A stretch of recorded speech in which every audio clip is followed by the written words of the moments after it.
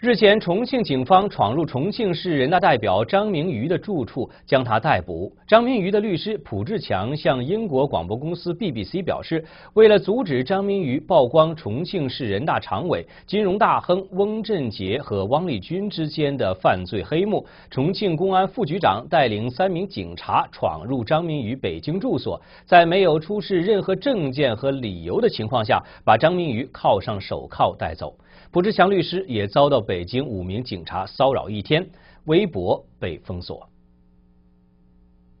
重庆人大代表、地产开发商张明宇曾多次用实名向当局举报另一人大代表、重庆市人大常委、金融大亨翁振杰，但都石沉大海。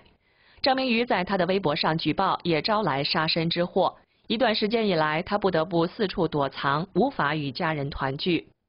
今年两会，张明宇准备再度实名举报翁振杰，并在微博披露他手中握有有关翁振杰与当时的公安局长王立军对他威胁恐吓的录音材料和其他重庆高层的犯罪证据。张明宇又在新浪微博上透露，原重庆市人大常委副主任税正宽是死于自杀，并声称税正宽死在王立军情妇王静的别墅中。张明宇七号晚上在他的新浪微博上说，重庆方面来了四个人要把他带走。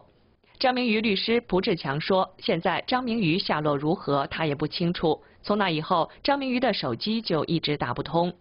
报道说，张明宇对薄熙来在重庆唱红打黑有意见，他被迫把资产交出来给了薄熙来的亲信。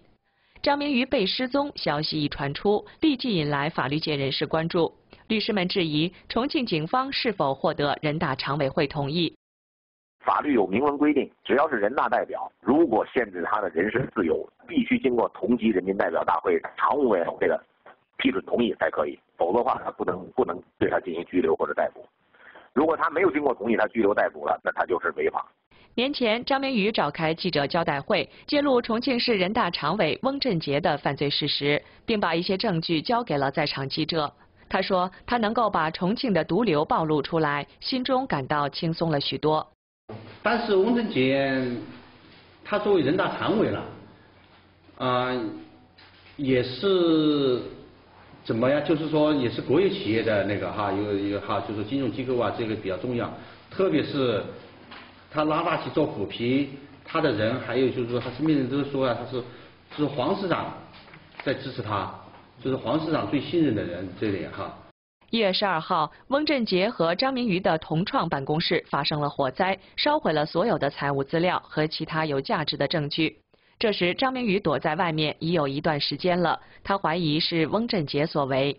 江北区公安分局消防分局的人已经介入，就问了他们：为什么你们的办公室着火了，财务资料被烧了，不报警呢？为什么不报警？就。是警方主动找到他们，警方消防局也找到他们问这个是否情况，那我就怀疑他们要隐瞒什么。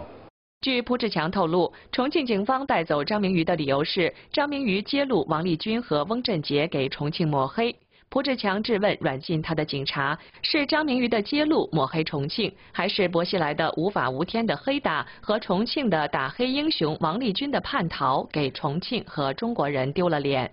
据报道，是薄熙来亲自下令派人将张明瑜秘密抓捕，让张在两会期间与外界隔离。